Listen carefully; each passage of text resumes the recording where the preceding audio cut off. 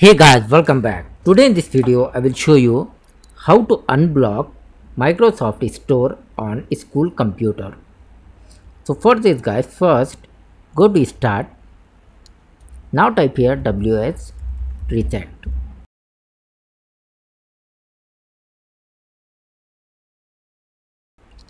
Right click here and select the run as administrator.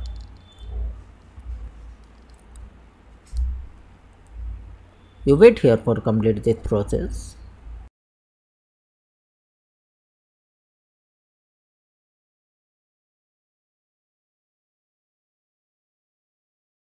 So now after this, hopefully guys, this will fix your problem.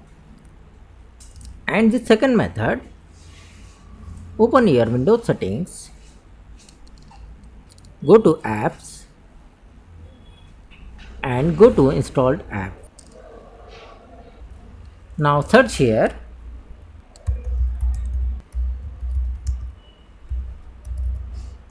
Microsoft Store.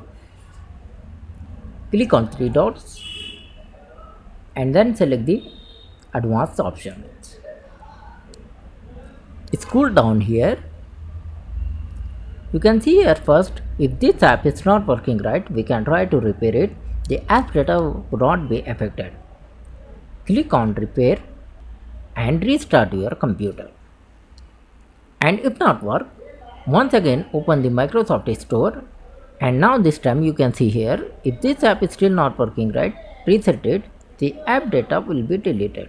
Click on reset and select the reset and complete the process and after this once again restart your computer. Hopefully guys this will fix your problem. And the third method once again open your Windows settings Scroll down, select here troubleshoot. Next select the other troubleshooters. Scroll down here. Find here guys Windows Store app. If you see your Windows Store app, just click on run and complete the process after restart your device. And the last fourth method, go to your Windows settings Select here Windows Update.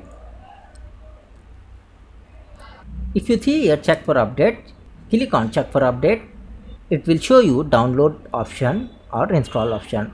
You download here Windows Update after restart your device. So thanks for watching this video. Please like, share and subscribe.